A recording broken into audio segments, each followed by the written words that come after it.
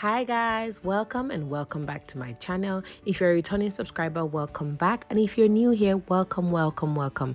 Please consider subscribing. In today's video, I'm going to be showing you how to make a pleated skirt like what I'm wearing right here. So if that's something that you would like to see, definitely keep watching. It promises to be another fun and detailed tutorial. And if you haven't seen the video for last week, please check it out as it's important that you watch that before you watch this.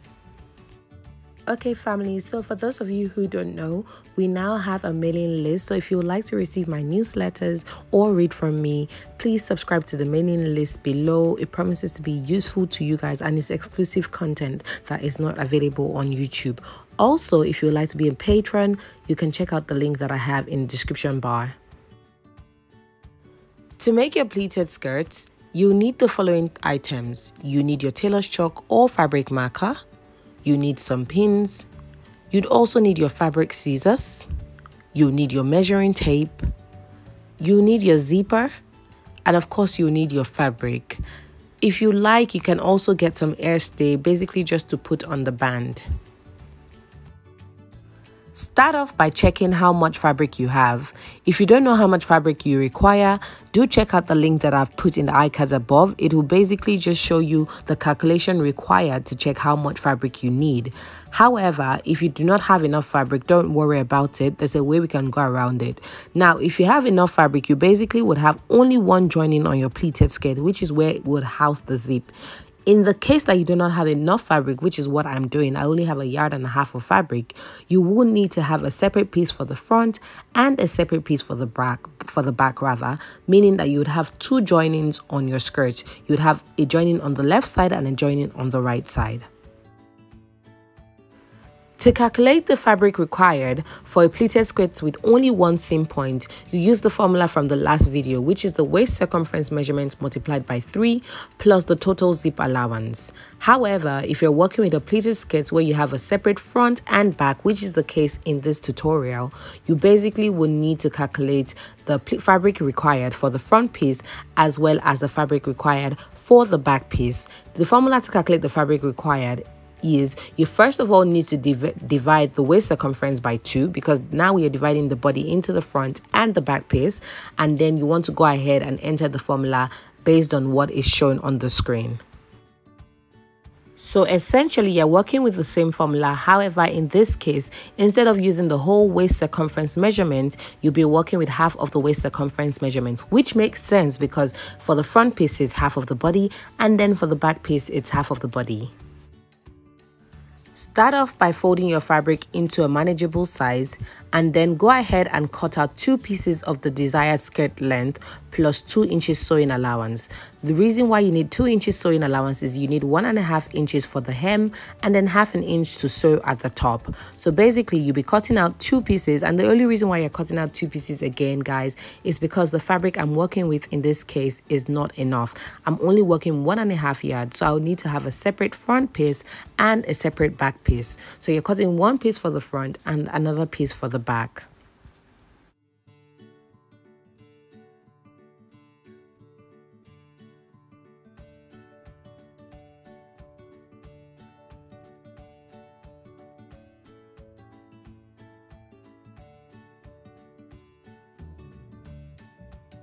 Next, we'll need to calculate how much fabric we require for each piece. Again, the formula required is you need to get half of the waist measurement. So in this case, my waist circumference measurement is 32 inches. Half of that is 16 inches. So I have 16 inches for the front and 16 inches for the back.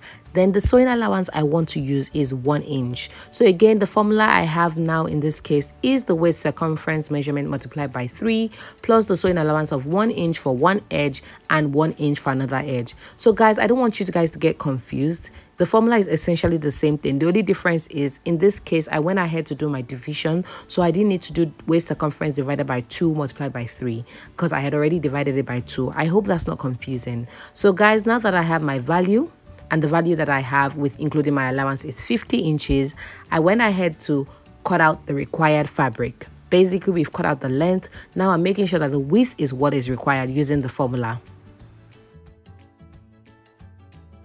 so again so i don't confuse you guys. I went ahead to add a note to the screen. So please check out the note and the example in the screen just for clarification. After marking out the desired fabric width go ahead and cut off any excess fabric. Please remember that my fabric was on fold. So for instance since i was trying to get 50 inches. I was only measuring 25 inches because the fabric was on fold already. Next Open up your fabric and mark the desired zip allowance on each edge. In this case, I'm using a zip allowance of 1 inch, so I went ahead to open up my fabric and mark 1 inch on the left edge and another 1 inch on the right edge. So if you're using a zip allowance of 1.5 inches or 2 inches, whatever it is, just go ahead and mark it on the left and the right hand side as shown. Afterwards, go ahead and mark out the desired pleat width all through the fabric. So in this case, I wanted each pleat to be about 6 inches. So you want to go ahead and section the fabric into 6 inches wide sections. Divide each pleat width section into 3 and then label as 1, 2 and 3 for easy pleating. Basically, what this is saying is that you have the 6 inches sections already marked out. You want to go ahead and divide each of the sections into 3. So for instance, in the case where you're using 6 inches like me, you go and divide them into 3 so that you have 2 inches as one, another 2 inches and then another 2 inches, okay? After dividing the pleat width sections into 3 and then labeling as 1, 2 and 3 appropriately, go ahead and fold over point 1 to 3 and then fold point two from another set back to one so that they are facing each other or kissing. If you don't understand how to do this or if you don't understand what I'm saying, do check out the last video or the video that I linked in the iCard above as well as in the description bar below so that you can fully understand how to do that because I show it on paper and it's a lot clearer. But then again, I'm going to go over it. You want to fold point one over to point three, just like I'm doing right now. So I have point one you want to fold it over to point three and then you want to pin that in place. Then you want to go ahead and take point two from another set and then fold it over so that it meets with the first one that you folded. That way the pleats are kissing or facing each other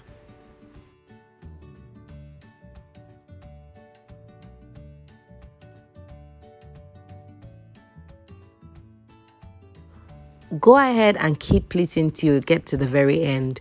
If you haven't seen the video that i made last week again i urge you to please watch it as it will help you understand what i'm doing better.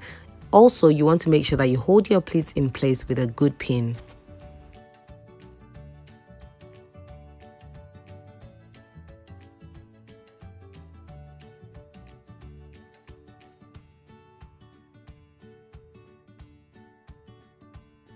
all right guys so one more time we're going to fold point one over to point three just like that and pin it in place. And then you're going to take point two from another section and then fold it back so that it's missing or kissing point one and hold it in place. And at this point guys we are done pleating. After pleating Go ahead and confirm the measurements that you have. You should have the waist circumference measurement plus zip allowance at the ends. And don't forget guys, in this case, the waist circumference has been halved. So we have 16 inches plus 2 inches, a total of 18 inches. And from this, I can tell that we are fine. Go ahead and sew the pleats in place.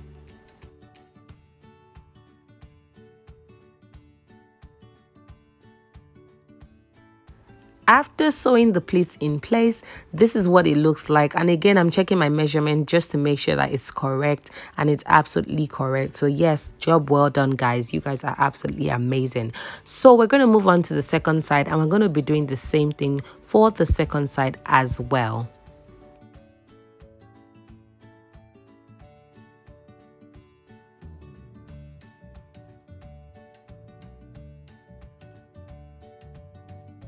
So going back to step one, we're going to check that the fabric that we have, the width is what we require.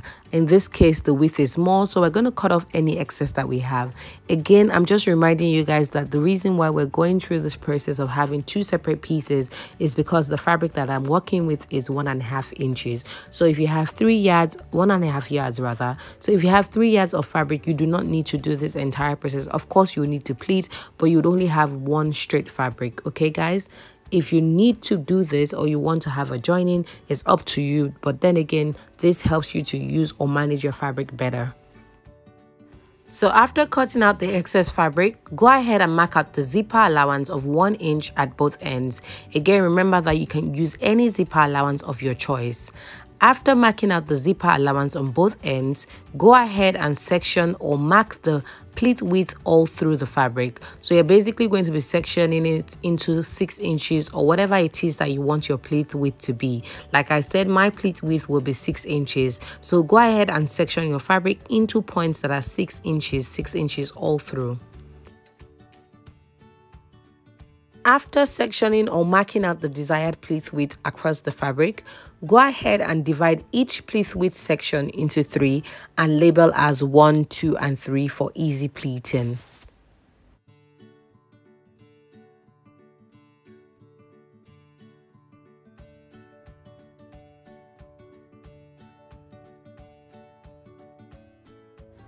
Go ahead and pleat by folding over point 1 to point 3 and then point 2 back to point 1 so that they're facing each other or kissing. Repeat this until you get to the end of the fabric just as shown.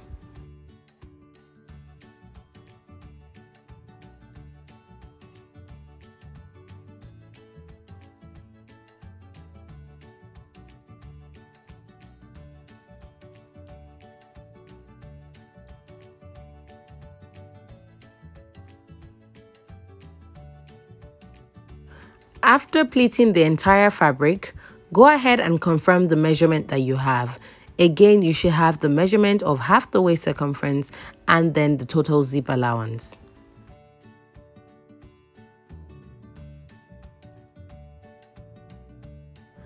After sewing the pleats in place, this is what they look like. The next thing to do is to go ahead and place both pieces on each other so that the right sides are facing each other.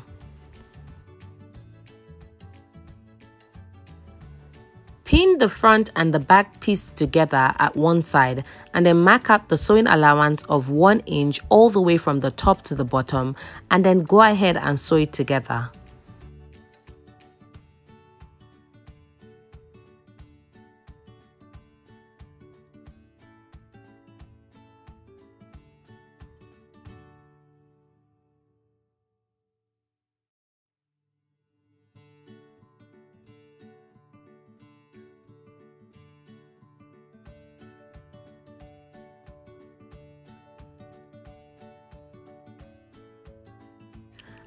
After sewing, this is what it looks like. So we're going to go over to the other side, which will house the zip. On the other side, go ahead and pin the pieces together, making sure the right sides are facing each other again.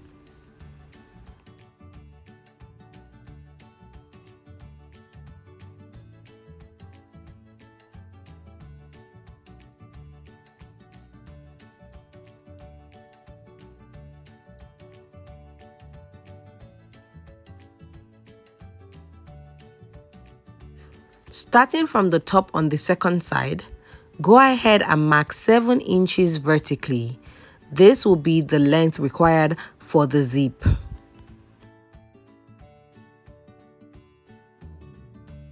Starting from the 7 inch mark down to the hem, mark out the sewing allowance of 1 inch all the way down and then go ahead and sew it in place as shown.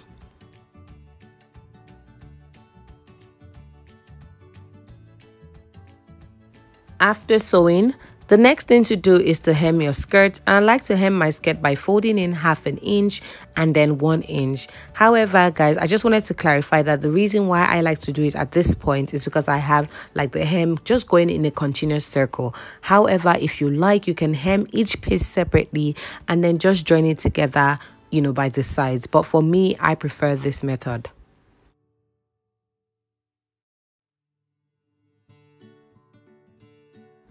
After hemming the pleated skirt, the next thing to do will be to install the zipper.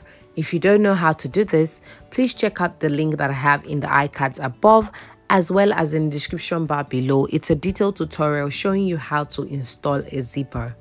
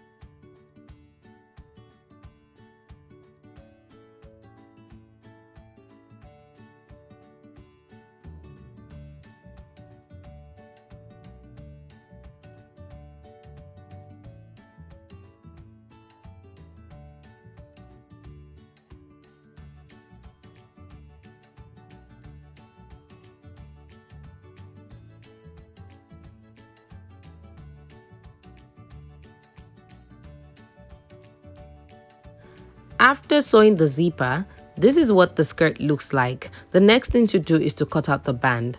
To cut out the band, you'll need to calculate the fabric required for the band. And the best way to do that is to first calculate the length of the band, which is calculated by the waist circumference measurement plus 2 inches. So in this case, the waist circumference I'm using is 32 inches plus 2 inches is 34 inches.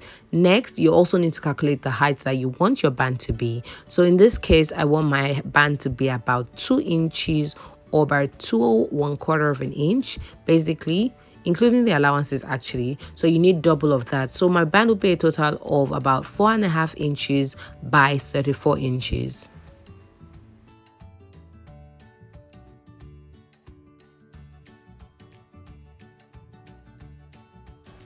After cutting out the band, if you want, you can go ahead and iron some stay onto the band. And basically what this does, it just makes the band a little bit more sturdy.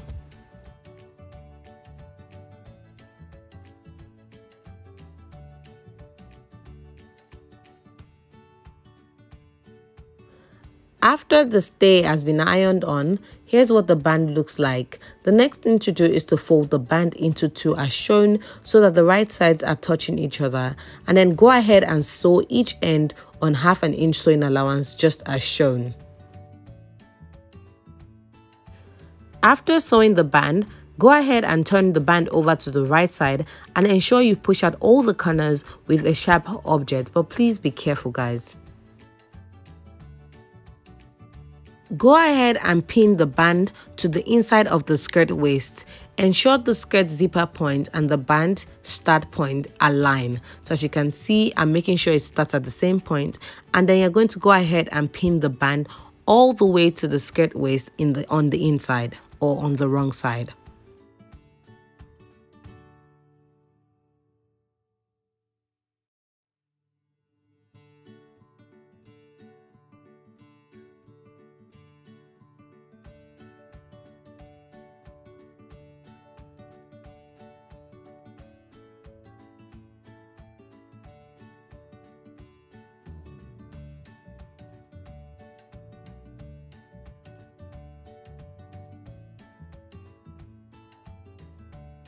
After pinning the band all the way from one zip point to the other zip point, you'll notice that you have an excess of about one inch on one zip point, which is absolutely fine and normal.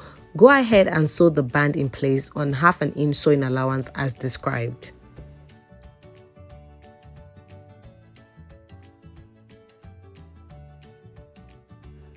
After sewing the band, here's what it looks like. Go ahead and top stitch the band close by folding the band over to the right side of the skirt as shown.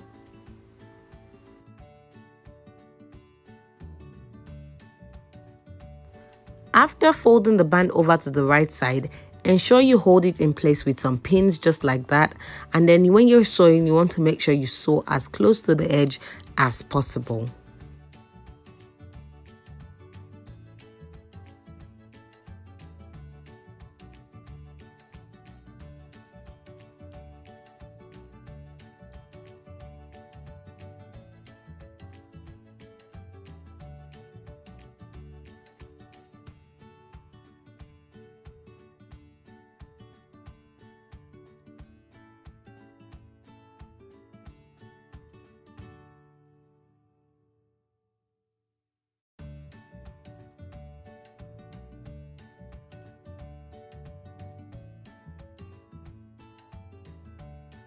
After top stitching the band close, your skirt is nearly finished and the last thing to do will be to sort out the hook and eye by unstitching that in position. Alright guys, so we've come to the very end of this tutorial. I hope it was worth your while and I hope you enjoyed it. If you enjoyed this video, please let me know by leaving a comment suggestion or feedback in the comment section below. Let me know by sharing this video please, it absolutely helps me out. And if you haven't subscribed, please don't forget to subscribe. Also, if you would like to join the mailing list, check out the link that I have in the description bar as well as the link for my patrons page. Thank you guys for being so awesome. I will see you on my next video next week Sunday. Thank you and stay safe.